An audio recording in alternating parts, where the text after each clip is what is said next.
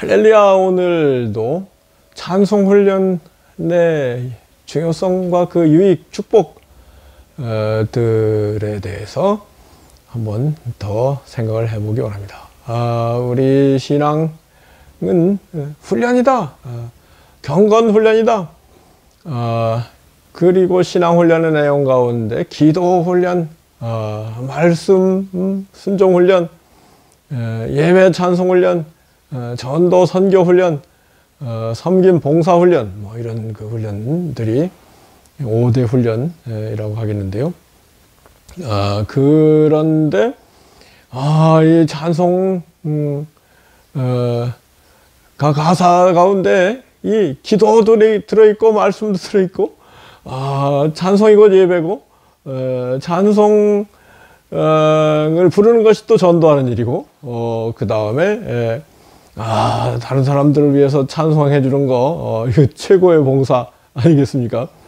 에, 그런 점에서 일석오조가 된 훈련이 찬송 훈련이다.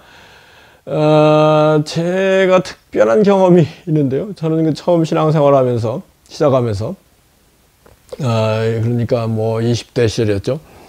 아, 이 주님 말씀, 신구약 성경 말씀들이 얼마나 귀하고 어, 복된 말씀인지, 아, 정말로 이 귀한 복된 말씀을 그냥 그 어, 눈으로 보고 지나갈 수 있느냐?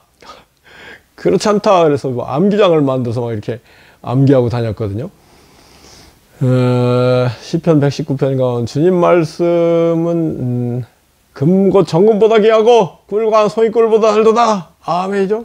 주님 말씀이 금보다 귀하고 어, 꿀과 송이꿀보다 달도다. 내 영혼에 신구약 성경 말씀이 얼마나 달콤한지, 얼마나 귀하게 느껴지는지, 아, 그래서 정말로 그 말씀을 사랑하는 사람이 되었다고 할까요? 어, 그런데 이제 찬송가를 이렇게 그 불러나가는데, 처음 신앙생활 할 때, 아, 찬송가를 그, 이 가사를 성경 말씀으로 어, 가사를 예, 만들었다면 얼마나 좋을까 그런 아쉬움이 있었어요. 에, 물론 뭐그 복음성가 아, 등을 특히 여튼 뭐 복음성가들 가운데 성경 말씀 자체를 에, 가사로 만든 그런 그 에, 이 찬송가 복음성가가 있죠 있긴 있는데 아그 좀 부족하게 느껴졌어요. 그런데 이제 그런 그 조금 그 불만을 가지고 교회를 다니는데 어, 수요 예배였던 것 같은데 가서 그 예, 통일찬송가 319장 오니완 주님의 음성 내 귀에 속삭이네. 내 마음 문을 두드리니 왜 주님을 피하느냐?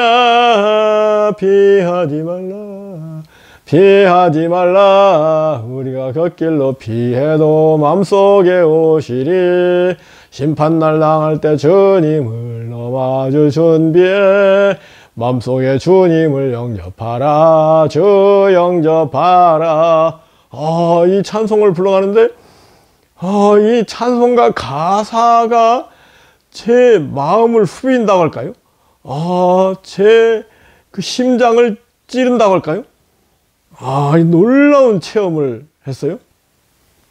아, 찬송가가 그, 어, 불러나가는데, 예, 이 찬송이, 예, 제 마음속에 막 그, 그, 어, 스며들고 막 찌르고, 어, 그러는 거예요.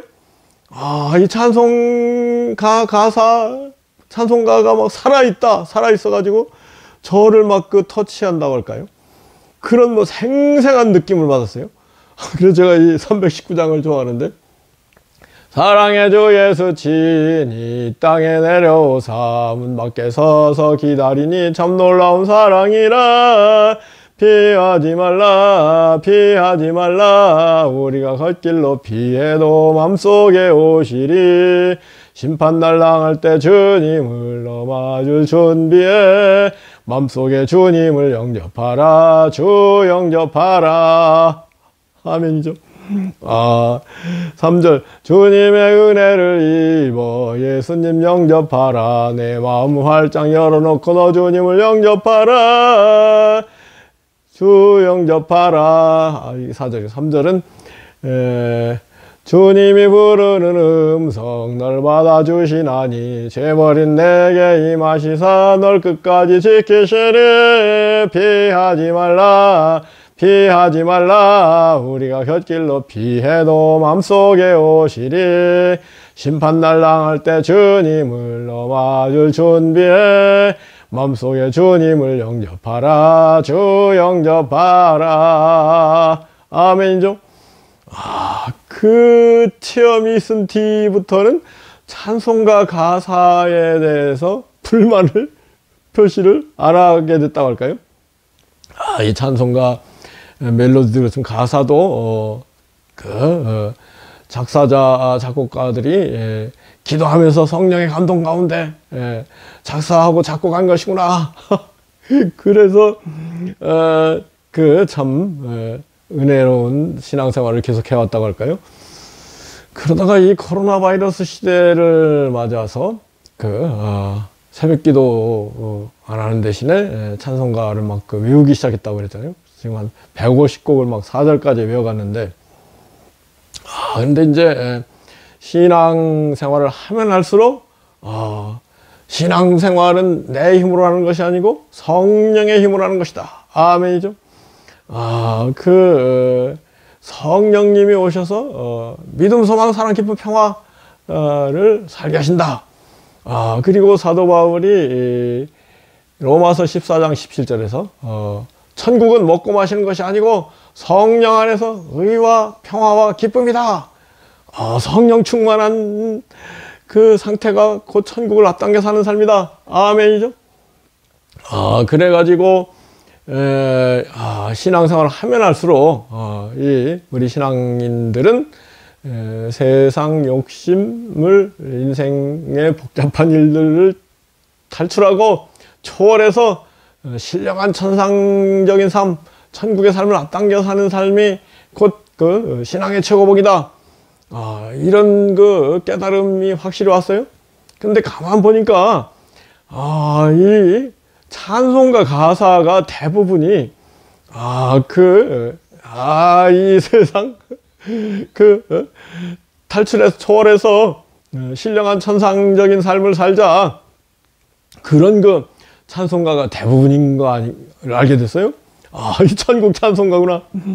대표적인 게 이제 뭐 495장. 어, 내 영혼이 은총 입어 중한 죄짐 벗고보니 슬픔 많은 이 세상도 천국으로 화하도다 할렐루야 찬양하세 내 모든 죄 사함 받고 주 예수와 동행하니 그 어디나 하늘나라. 주의 얼굴 뵙기 전에 멀리 뵈던 하늘나라.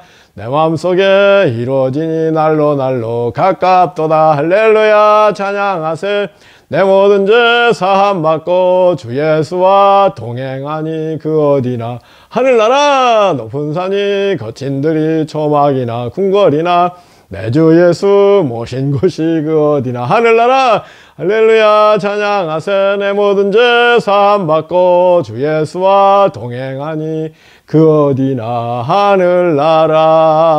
아멘이죠?